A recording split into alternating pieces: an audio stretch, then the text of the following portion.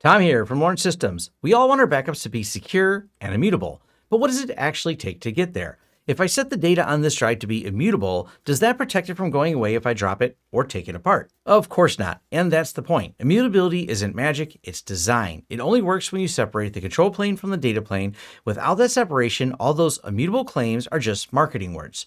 Today we're going to break down what immutability really means, how object locking, snapshots, and pull-based replication actually make your backups more resilient from both failures and malicious attacks.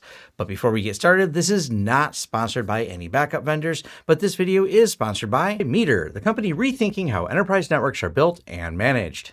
Meter delivers wired, wireless, and cellular networking in one integrated solution, covering everything from hardware and software to deployment and support.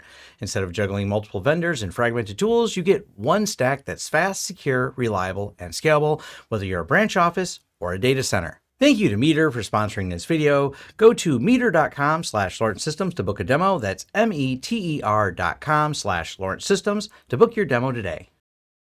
The first concept I want to start with is data plane versus control plane. I used that at the beginning of the video and I'm going to use it a few other times. So let's make sure we're clear on what this means.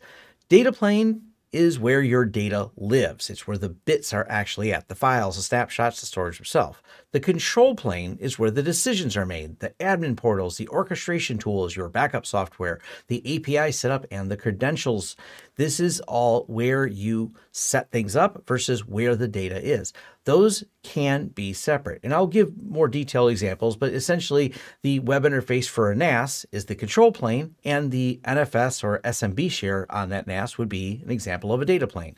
Same thing with cloud backups. You will have the portal by which you'll set up the cloud software, your login for that cloud software or cloud backup portal, and then the API key you set up then allows the data plane to talk. So the software that may need that API key to get that data to the cloud, that's being done on the data plane. And getting access to that API key won't allow control or changes to be made to the control plane. These are really important concepts and they're the basis for much of this.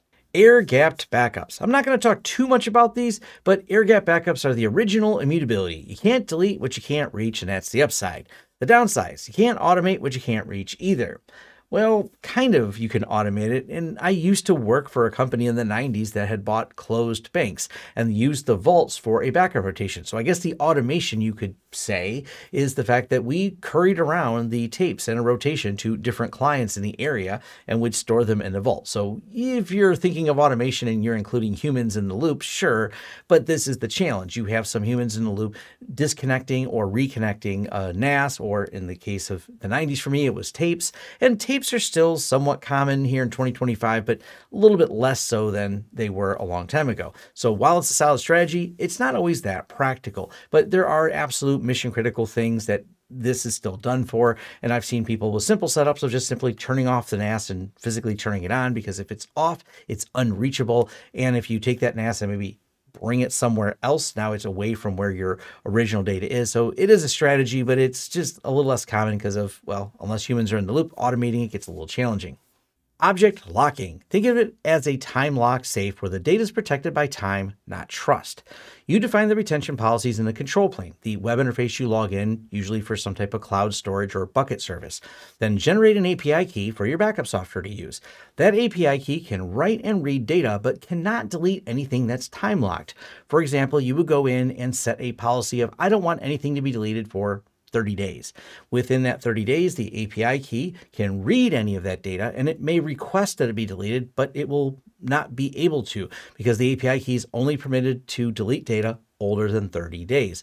So you can have a retention policy set up within the backup software that allows the API key to say retain for 45 or 90 days. But if anyone were to access or be a malicious actor taking control of that backup software or extract the API key from it, they can't send a command back up to the cloud that will delete things beyond what the retention date. This is back to why it's so important to have control plane versus data plane. Data plane being controlled along the API key, it has to follow rules your login for that username, password, hopefully a two factor, protects you from anyone getting rid of your backups beyond the retention policy. So even if something happens on site where these are, the cloud will still follow those retention rules. And as I said, it's protected by time, not trust based on those policies. Now, snapshots can apply to cloud, but usually are going to apply to local NAS. Both ZFS and Btrfs support snapshots, and a variety of devices support this as well. A snapshot captures the exact state of your data at a given moment. As your data changes, new blocks are written elsewhere while the snapshot keeps the originals intact. They are great provided you keep control plane and data plane separate. Once again, the login to your NAS will set a retention policy. Then NASs are frequently shared over SMB or NFS. So the sharing protocol should not have the same credentials as the web interface or whatever interface it has to control the NAS. This is once again a complete separation. So someone logs in and the backup software ideally is able to do what it needs to do and read and write data, move data around and do the backups as it does. But if someone gets in there and tries to delete them all, you would have a snapshot policy. And the worst case scenario is you lose whatever that snapshot retention time is. In the case of 30 minutes, you would lose 30 minutes worth of changes that you would be able to immediately roll back to.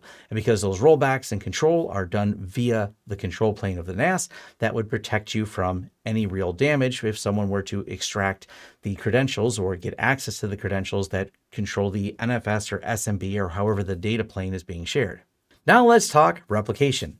Replication is how you move data, or more specifically in this context, snapshots from one system to another. Having all the snapshots on your primary NAS is great. Having them on another one is even better. It's a solid strategy to have a second copy of all the data, but the direction for pushing or pulling the data matters.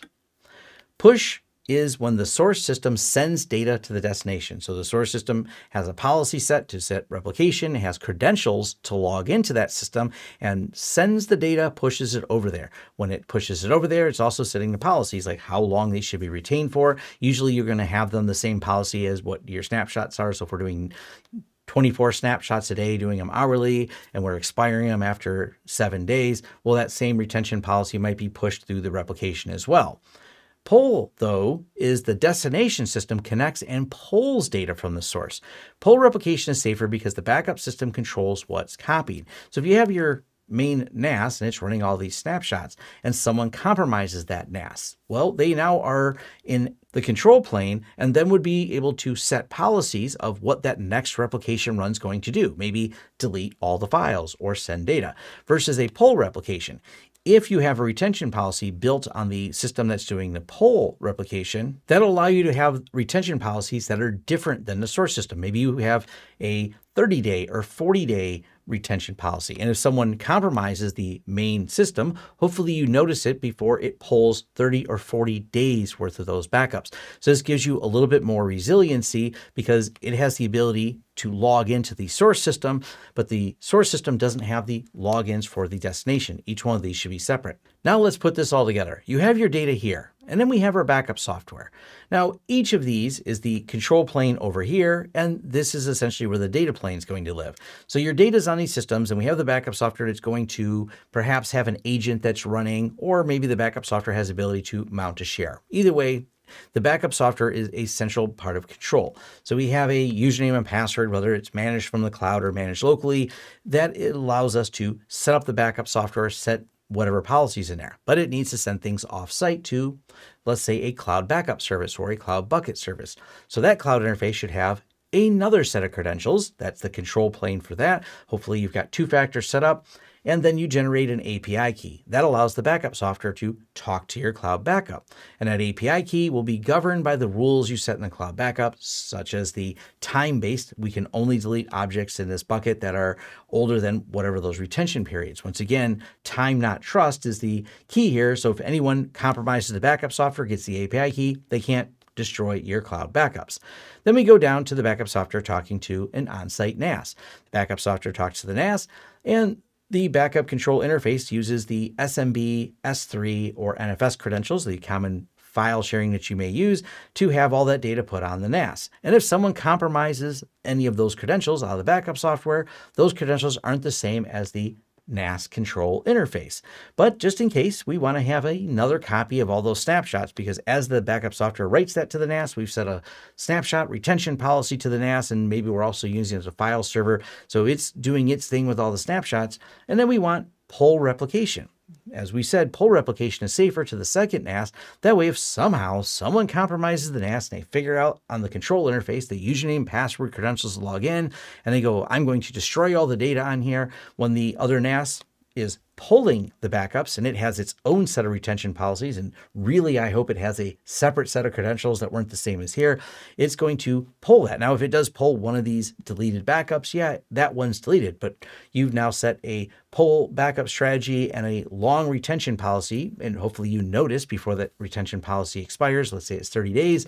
And within those 30 days of retention, you've noticed someone has deleted backups, and now you have a, another way to recover on site. So this whole strategy is the resiliency that you need to create these backups. It's not just saying we check the box to make it immutable. It's immutable based on no one getting control of any of these. And if you think that clouds are always immutable because they have that checkbox, try just not paying the bill. You'll find that that's a failure point as well. Uh, people have got caught up where they've lost data in the cloud because if the credit card's not there, that is one more place that you need to think about resiliency. That's why I mentioned having a couple copies on site as well. And if you're lucky enough not to have cloud backups because you have two locations, that's an awesome solution. Well, you can take this NAS, use it over a VPN where it reaches out and talks to the other NAS and still does that pull replication. And with any of these, you can have more than one. I just put two in here, but of course, maybe you want five copies of your data. So you buy five NASs and scatter them around to different sites. So it's not about buying a product that says immutable on the box, it's about how you design the system separating your control planes from your data plane, using object locking the right way, keeping snapshots protected by pulling, not pushing. Do these things and you're not just checking a marketing box, you're actually protecting your data. I also have deeper dives and videos showing you how to set these things up on both Synology and TrueNAS, including hardening guides.